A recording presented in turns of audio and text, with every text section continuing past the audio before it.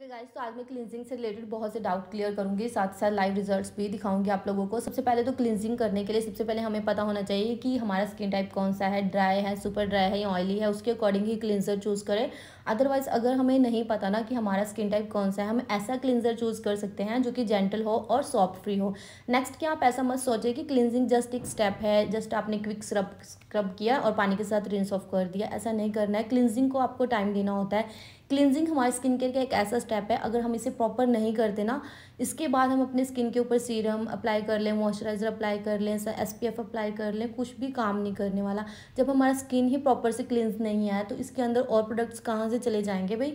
तो हमारा स्किन अच्छे से काम नहीं करने सेकेंड इज़ कि हमें हमारे स्किन को बहुत ही जेंटली हैंडल करना होता है। बहुत सॉफ्ट हैंडली आप अपने स्किन को हैंडल करोगे, उतना ही हमारा स्किन अच्छा रहता है।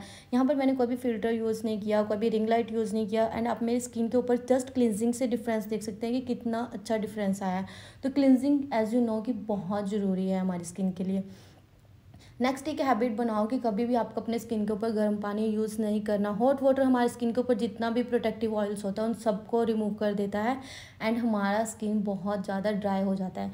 तो इसलिए जब भी स्किन को आपको रिंस करना है नॉर्मल पानी का यूज़ करें एंड क्लिनजिंग के बाद एस पी एफ़ भर भर के अपनी स्किन पे अप्लाई कर लें। ये दो स्टेप हमारे स्किन में इतना चेंज ले आते हैं ना।